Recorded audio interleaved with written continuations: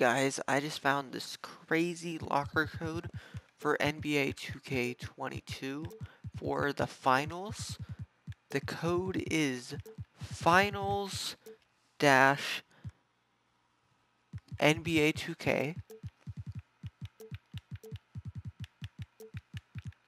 dash boss dash GSW. And it is a freaking crazy code. Look at this pack. You ready? Look at this. You get an option of a chef badge, Marcus Smart, Al Horford, Andrew Wiggins, or Jordan Poole.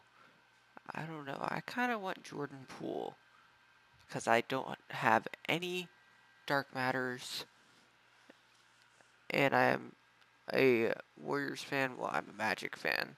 Warriors are my second favorite team. So yeah, I'm gonna go with Jordan Poole. See, that's freaking crazy locker code.